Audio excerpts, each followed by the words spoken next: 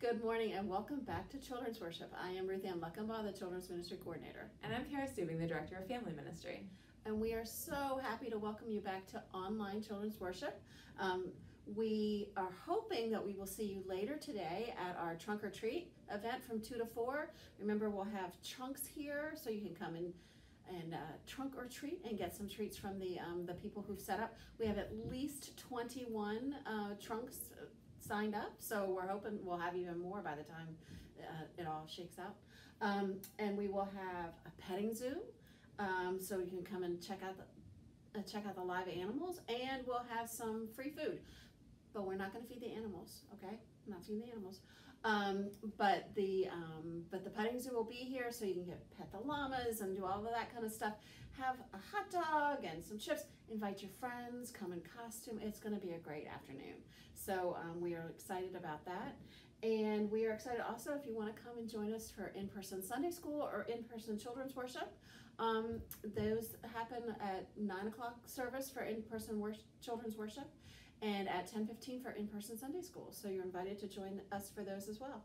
And um, so let's get started with our worship. Remind you that we have our green uh, on the cloth. It's still green. It's going to be green for a little bit longer um, and because we're still in our growing season. And we also have our candles lit to remind us that Jesus is the light of the world. And Miss Kara is continuing the story of our friend Moses. All right, so we have been talking about Moses, and uh, if you have been with us for children's worship the last couple of weeks, I'm just going to review it for you. If you haven't, I'm going to catch you up real quick. So we started off with Moses, and Moses was saved. His whole life was saved because his mom uh, hid him in a basket and floated it on the river, and that basket was found by the Pharaoh's daughter. Um, and so Moses, from very early on, was set apart. He was chosen by God to do something, and we see that as an evident of the in the ways that he was um, was saved in just a very unusual way, and the people that he was raised by. Um, and then we uh, talked about how uh, Moses, uh, years later, um, was called by God through the burning bush.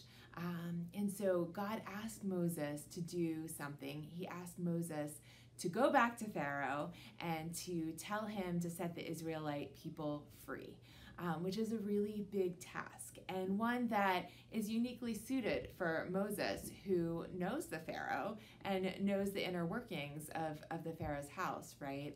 Um, and then uh, last week we talked about how Pharaoh did not want to let the Israelites go, right? They were free labor for him and uh, they were serving his purposes well and he uh, did not want to want to see them go. And so um, we heard how uh, God talked, told Moses to to let Pharaoh know, hey, if you don't let these people go, bad things are going to happen. And so last week we talked about the plagues that happened and how finally, after uh, after many plagues, many losses of, of things, um, Pharaoh had had enough and said, okay, fine, get out, go, go now. And uh, Moses and the Israelite people were ready. They were ready to go. They were ready to leave. They had um, their stuff packed. They had taken their bread out early, so it wasn't even, it hadn't risen yet. They had, uh, they were ready to go on this journey. And so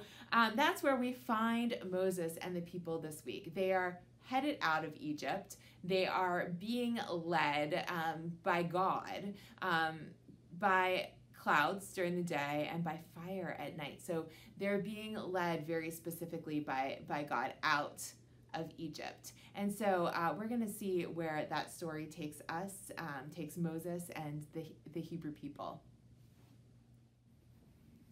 The Red Sea.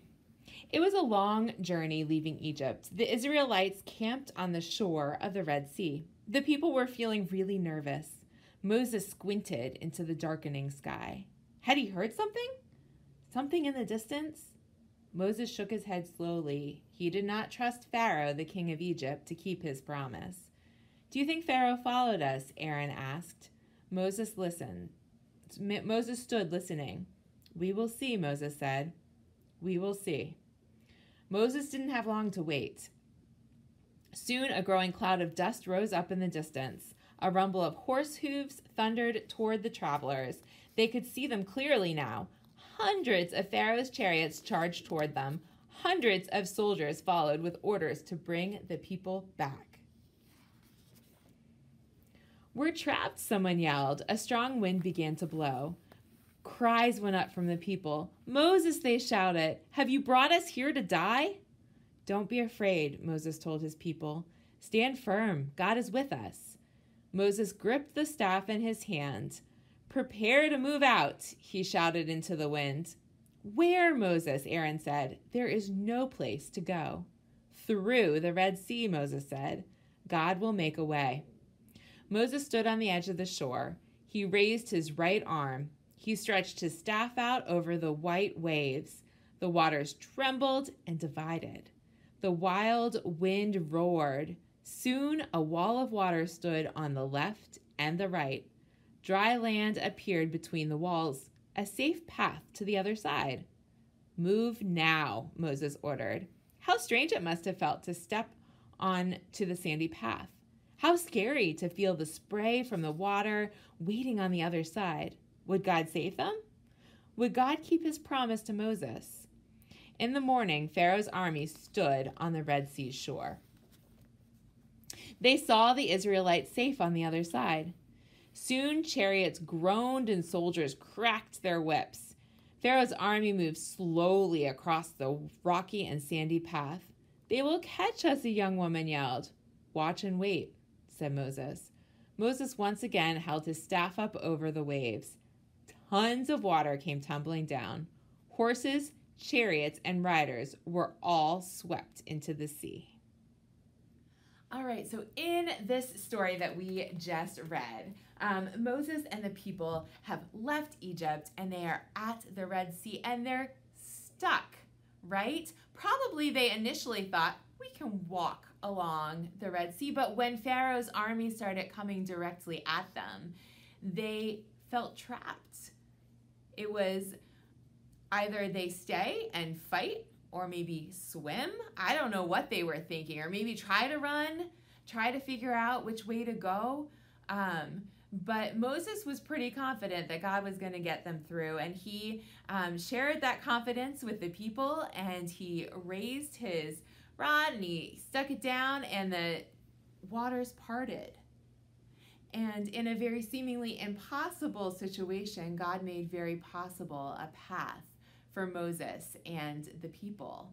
Uh, we talked about um, in worship last week um, about how God makes things possible when it's seemingly impossible. And this is one of those moments. And one of our big words that we're talking about throughout uh, this this learning about Moses is awe.